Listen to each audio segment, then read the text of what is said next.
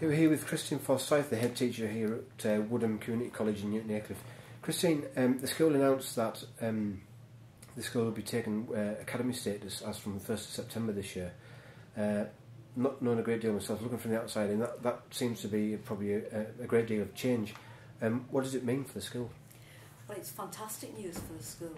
Um, first of all, to convert to be an academy, you've got to prove that you're a school that's performing well. And we've had three years of improving results. This year we've had a fantastic Ofsted and what that means is the government thinks that we are a school that is improving strongly and that we are good enough to convert to become an academy in our own right. An academy is essentially a state-run independent school and we have a lot of freedom to take the school forward, how we want to take it forward for the benefit of the children in Newton Aycliffe and for the benefit of the community. So it's absolutely fantastic news. Does it make, make any change to sort of the facilities that will be available to the to, to the students here at the school?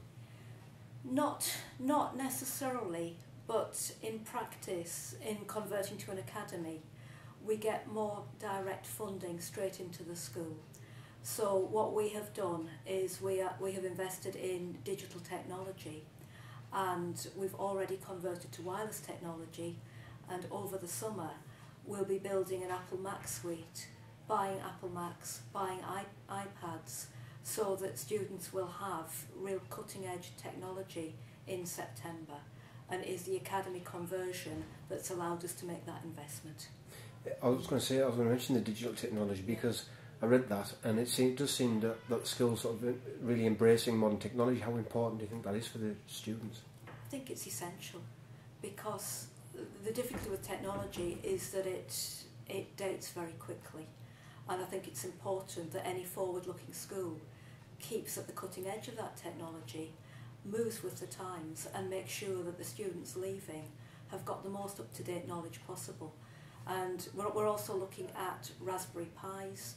Um, I don't know if you know. I don't know if you've come across those. That's little, they're little computers about the size of, size of a credit card, where you actually build it yourself. And that's looking at computer science rather than traditional ICT. So it's moving forward into that next generation of digital technology, which will be necessary to help students get jobs. And at the end of the day, you know, while we want students to be happy in school, when they get to 16, they've got to move on to the next stage of employment, education or training, and we must have employable students. I know one of the other changes will be the uniform for a start. Yeah. The, the students will be wearing new uniforms. Um, but are there any other obvious uh, changes that the students will see straight away? I think the, the uniform is part of a, a wider change in branding.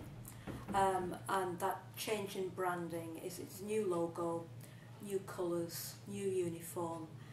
There'll be some interior remodelling and redecoration so the school will look different the minute you walk into it. Um, however, that, that really reflects a change of emphasis in the school. We were a technology college we will focus on digital technology, but also on all subjects. I think a school should be excellent in every respect, not just in one area. And I think the day of the old specialist college is gone.